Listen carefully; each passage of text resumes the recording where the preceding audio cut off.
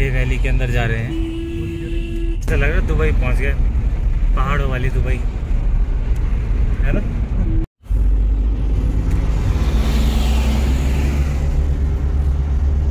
Finally हम ले लद्दाख। ले पहुँच चुके हैं।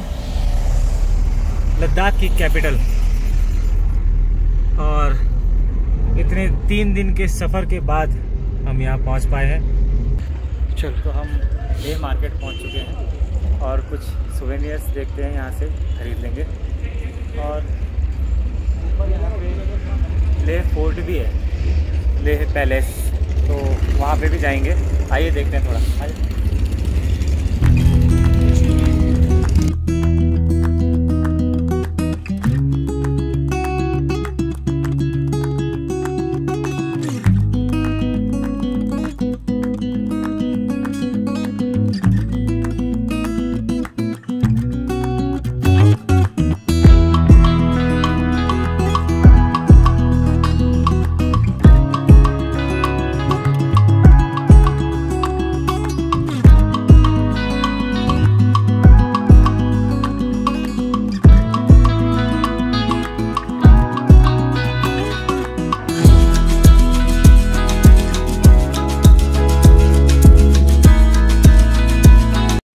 पे हैं सिटी सेंटर में ले के मार्केट में और यहाँ पे तिब्बत क्विजिन यहाँ